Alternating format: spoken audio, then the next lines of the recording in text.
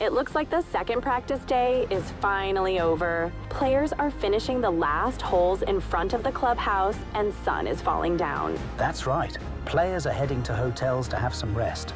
Can't believe we will finally open the gate for public in two days. Good night and see you soon.